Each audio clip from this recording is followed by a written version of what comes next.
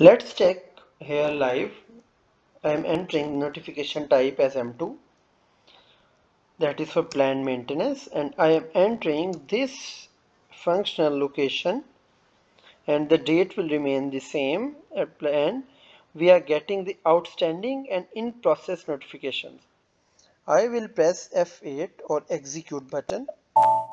Now you can see a list of notifications have appeared in front of us. These are for different equipments. We can open any notification by just double clicking it. After opening that notification you can see that it is for this specific equipment.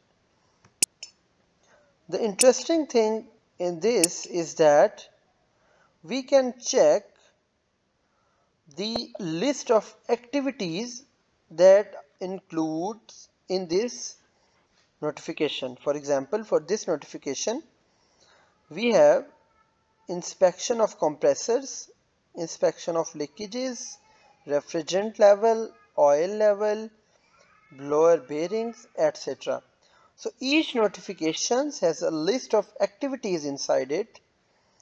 We can convert this notification into a maintenance order by just uh, you know go to edited mode of this notification.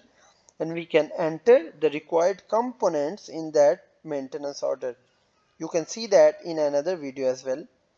So that's all about IW29 in which we are able to get a list of notifications about a certain material code about a certain equipment about a certain function location and about a certain period of time.